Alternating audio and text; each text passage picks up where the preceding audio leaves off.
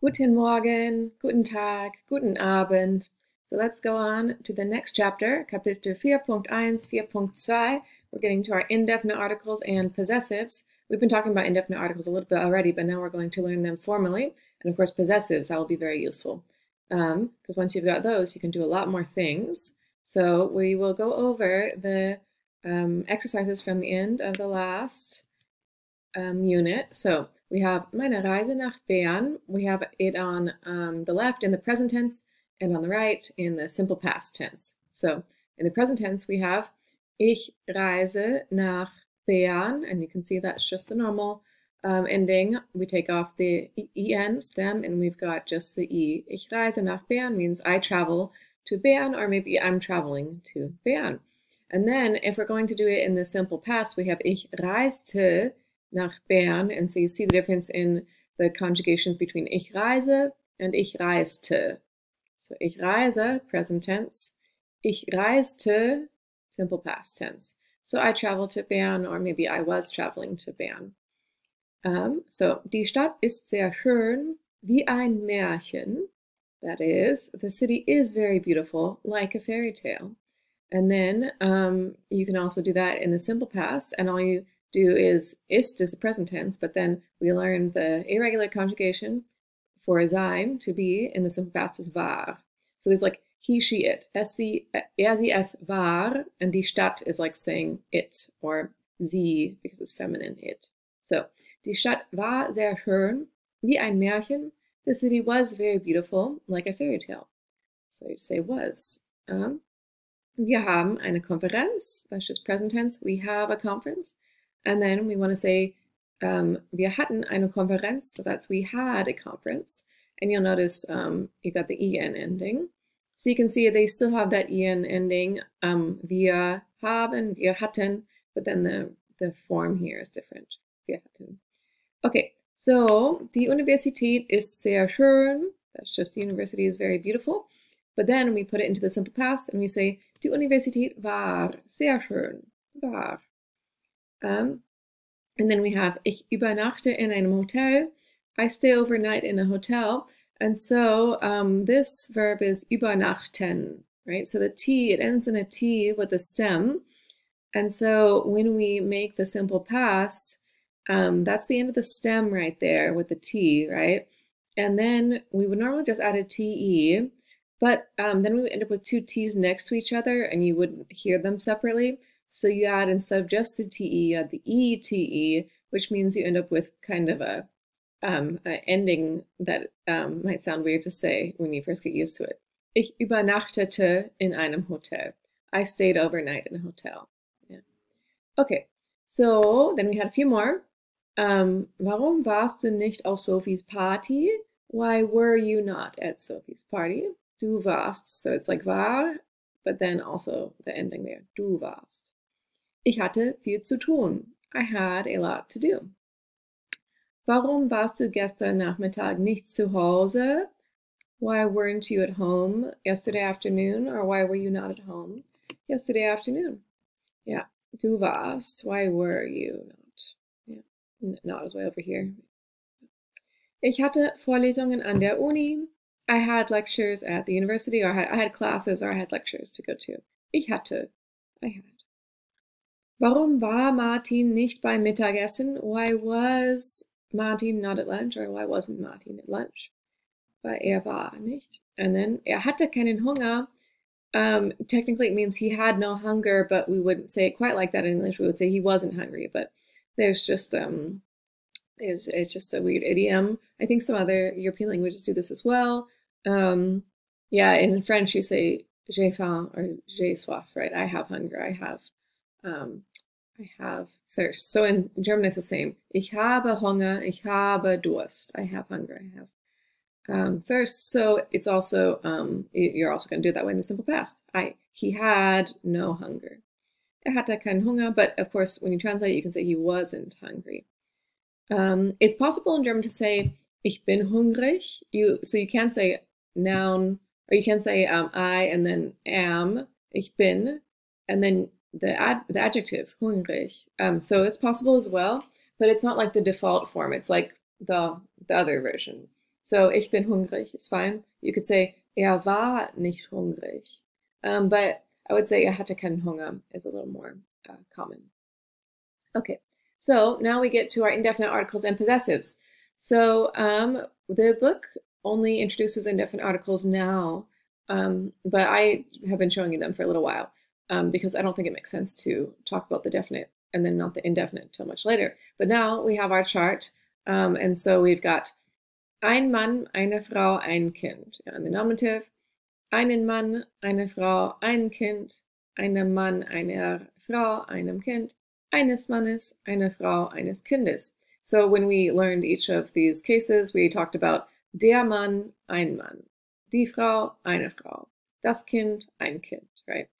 Um, and so they correspond in the, and so it would be like den in the accusative, den Mann, einen Mann, etc. Um, so this is just a chart that shows only the indefinite articles. Um, and then there's no, they don't list the plural here because you can't really make plurals with indefinite articles. Um, but it is important, there are endings when you go into the possessives, which is what we're doing in this unit. So here are the indefinite articles um, along with the definite articles, right? So der Apfel, ein Apfel. This is nominative, right? Die, die Banane, eine Banane, das Auto, ein Auto, die Blumen, and then just leave it off for the indefinite type situation. This is all the nominative, right? And then um, we look at some negatives. So to make the negative, you want to say not a or no, kein. Then um, you just put the k at the front of whatever the ein would be. If, if it's ein Mann, then it becomes kein Mann. Eine Frau, keine Frau. Ein Kind, kein Kind. And then see, it would be like einem Mann, and it becomes keinem Mann. So just uh, stick the k at the front of the ein word, and that's how you get your negative. Um, except for now it's possible to do it in the plural, right? So we had this chart where there's no, they don't put the plural here because you can't say a children or like a women or a men, like it doesn't work that way because it implies a singular one. But if we're going to say negative, then you can say no children or no women or no men. So because um, it's now possible to to say it like in the negative and then do the plural, you do need to learn these endings. Um, and they they are, as you might expect, um, sort of matches the the um, uh, like the D uh, in the definite article for um, it would be like die Kinder if it were definite article, right? Um, so you have like the, the E at the end of that one. Um, so keine Kinder, no children, and then keine Kinder, no children for nominative and for accusative, and then keinen Kindern in the dative because if you think about how it would be in the definite article, it would be um, den Kindern to the children or for the children. So um, den Kindern, you can see that n actually shows up here as well. And then if you think about in the genitive um, plural, it would be der Kinder of the children, der Kinder. And so you see that R showing up here as well in the indefinite article. Yeah. So these, they don't show up quite as often um, because uh, you can't do them, you can only do them in the negative and in the possessives, but you do need to recognize them because they will show up. So we can look, for example, these are all in the nominative. Der Apfel, ein Apfel, kein Apfel. We just put the K at the front to make the negative. Die Banane, eine Banane, keine Banane. Eine, keine. Ein Auto, kein Auto. And then you'd leave it off here because you can't say a flowers, but you can't say no flowers. So then we have to learn that it's keine here. Keine Blumen, no flowers. But here it matches die and keine. So you can kind of see where that comes from. Okay, then we had this one from before. Das ist kein Mond.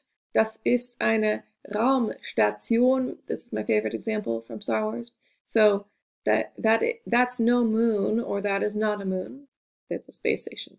So um, that das ist kein Mond would be, yeah, das ist der Apfel, das ist ein Apfel, or das ist kein Mond. This is, this is the apple, this is an apple, that is no moon. Not a moon, right? Or we could say, das ist die Banane, das ist eine Banane, das ist keine Katze, that's no cat, or that's not a cat, it's a banana. Das ist das Auto, das ist ein Auto, das ist kein Haus, it is definitely not a house, it is a car. Das sind die Blumen. These are the flowers. Das sind Blumen. These are flowers. Das sind keine Autos. These are not cars. These are no cars. These are flowers. Yeah. Okay, so now we just have to remember um, all these endings because then you put the K in the front of any of these eins and make the negative. Um, now we're going to get into the possessive pronouns. So first we look, we remember what our regular pronouns are.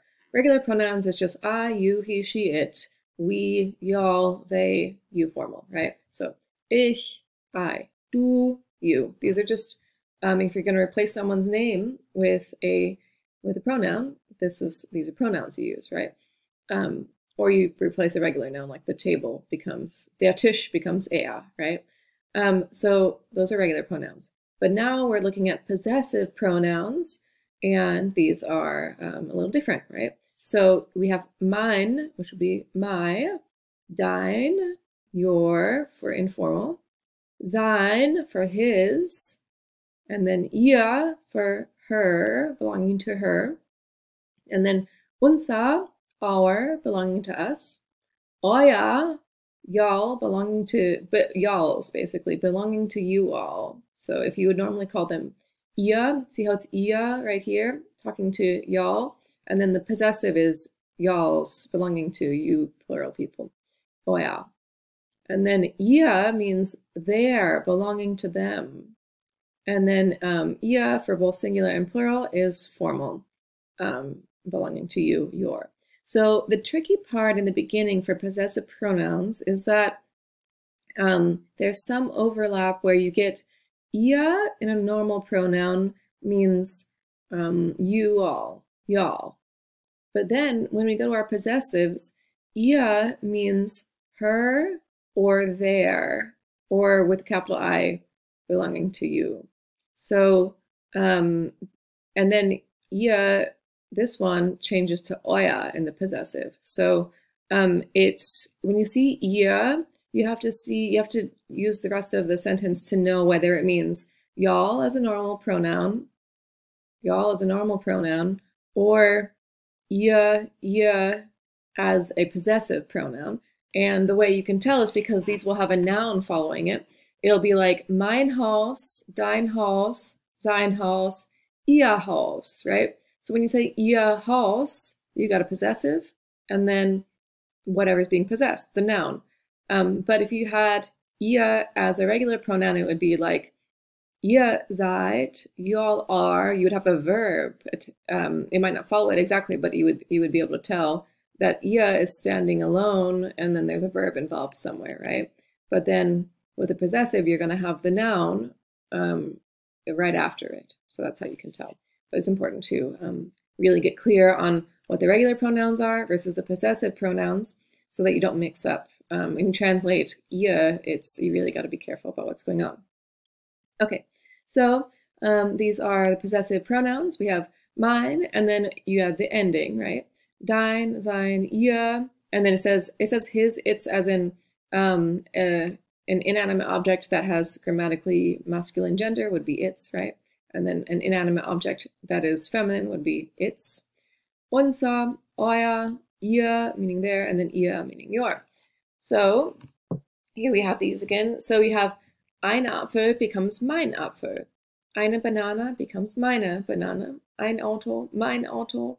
And then, of course, meine Blumen. So those are the um, nominative ones. And then we can look at um, what happens when you are um, putting different nouns after your possessives, right? So mein Vater, that's just my father. Father is masculine, der Vater. So you say mein Vater. And then what happens when you want to talk about Mutter? Mutter is feminine. So you say meine Mutter. And then for neuter, mein Kind. And then for plural, meine Kinder. Um, and then we can say dein Vater, masculine, deine Mutter, feminine, dein Kind, deine Kinder. So the feminine is going to get this E, and then the plural is going to get this E. Sein Vater, that's going to be his father. Sein Vater, his father. Seine Mutter, sein Kind, seine Kinder. So the thing is, um, sometimes people get um, a little confused because sein is masculine in a sense because it means his, belonging to him, right? But then you get Mutter here, which is feminine, and um, it's like uh, sometimes hard to parse out like what part refers to what. So we'll have more examples on this, but basically um, this base form refers to the person who possesses, and then the ending refers, the ending has to match the noun that comes after. So since this is feminine, it gets this E. It doesn't matter who's, this person has a gender, and this person has a gender. And this ending is determined by this one, not this one. Okay. Ihr Vater is then her father. Ihre Mutter, her mother. Ihr Kind, her child. Ihre Kinder, her children. And then unser Vater, our father. Unsere Mutter, our mother. Unser Kind, our child unsere Kinder, our children. Then euer Vater, eure Mutter. So what happens here is um, euer is the base form, and then we're going to add an e. But then what happens is uh, this e in the middle disappears because it would be e r e. But um, especially because the r isn't a very strong consonant to begin with, so um, it just gets to sound too vowely, right? So um, that, that E that would be in the middle there disappears, and you, we add the E at the end. Eure Mutter. Euer Kind, y'all's child. Eure Kinder is then um, your y'all's children. Children belong to you all. Okay. Ihr Vater, your, uh, which would be then, so we did euer, now we're at ihr, and this is their, belonging to them. So, ihr Vater, their father ihre Mutter, their mother, ihr Kind, their child, ihre Kinder, their children. And then we've got the capital I, which is, of course, you formal. So, ihr Vater, meaning your father, formal. Ihre Mutter, ihr Kind, ihre Kinder, your children. Okay, so we can notice how the possessive pronoun endings match the indefinite article endings. So if you have dem Vater and einem Vater in the dative, then in all of these different possessives, you're going to have the endings that match the ein. So einem Vater, meinem Vater, deinem Vater, ihrem Vater, seinem Vater, ihrem, unserem, eurem. Yeah, so this chart lists out all the dative ones, but it goes for every case and every um, every uh, gender of the noun that's going to come after. So all you have to do is pretend that it's ein, and then take whatever ending you would have there. And so with meinem and deinem, all you have to do is put the M and the D at the front. But then with ihr and unser and euer, then they it doesn't like rhyme the same way, so it's not quite as obvious, but it's still adding the same ending. Yeah. So all of these are going to have this matching endings. Okay. So yeah, here those are again. So definitely commit all of these to memory because it can um, be really uh, confusing when you're translating if you if you can't navigate these. So then we've got um, some more examples where you get einen, meinen, um, and then something like the the plural is important to note, right? Because in, normally in this chart we wouldn't have so we have d, d, den, we had that already but you can't have an indefinite article um, in the plural, but you can have a possessive. And so for that, you need to know these endings. Meine Kinder, meine Kinder, and then meinen Kindern, and it matches that right there. So this one especially um, uh, is new with when you learn possessives. Okay, so let's look at these just to help understand more what, what's happening. Sie hat ihren Apfel is she has her apple, the first part of the possessive pronoun matches the person who possesses. So sie and her, and ihr is like she and her, belonging to her. So those two match. But the ending matches the noun that is possessed. So apfel is masculine. So um, the reason it's ihren is because it's masculine accusative. So these two match, and these two match. And then ich besuche meinen Onkel is I visit my uncle. And then what's happening is ich and mein, those two, those two go together. And then we have this masculine accusative ending because it's the direct object and onkel is masculine.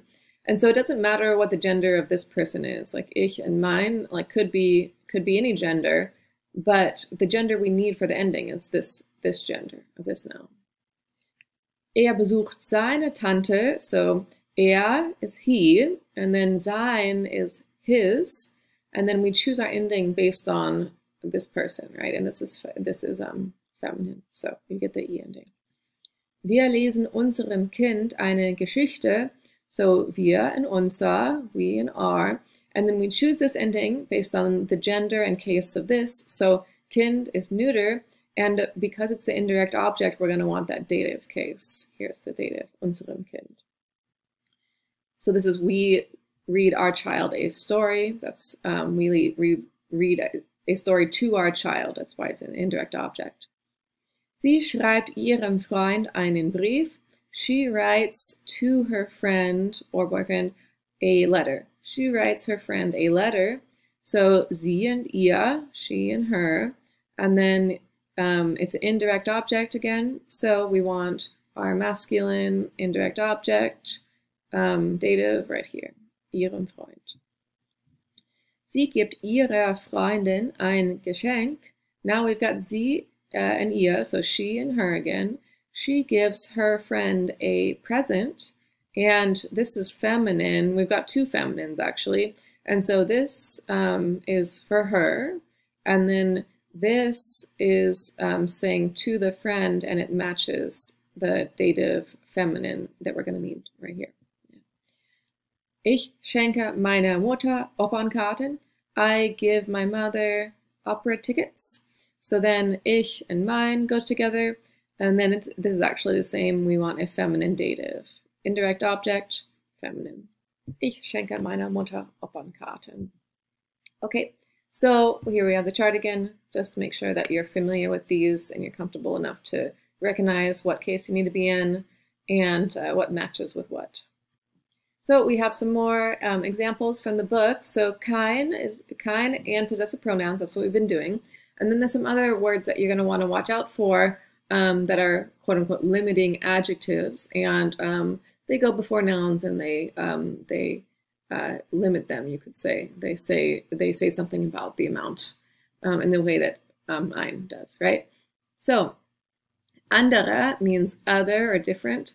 Andere Länder, andere Sitten different countries, different customs. So it's in the plural, and you see it has that same plural ending. It would be like it would be like meine Länder, andere Länder, same ending.